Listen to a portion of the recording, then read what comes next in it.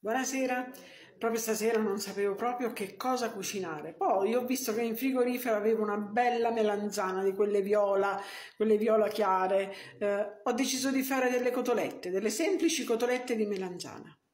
Buonasera, stasera ho intenzione di fare delle belle cotolette semplicissime fatte con la, la melanzana, questa melanzana viola. Le accompagnerò con uh, dei piselli, dei semplici piselli cotti con dell'olio extravergine d'oliva e un poco di menta. Mi sono dimenticata di dirvi che non le friggerò, le farò al forno. Allora, ho messo della mollica di pane e del formaggio grattugiato, un pizzico di sale e un po' di pepe. E qui ho sbattuto le uova.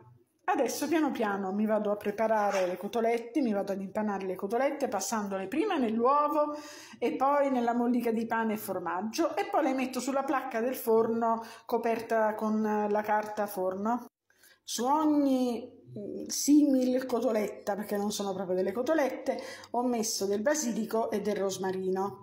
Qui mi era finita l'impanatura e le ho lasciate qui così. Qua cioè, è solo bagnata nell'uovo. Comunque ho messo uh, il, il basilico e il rosmarino anche qui sopra. Adesso vado a mettere un filo d'olio, un po' di pepe e in forno per, 100, eh, allora, per 30 minuti 160 gradi.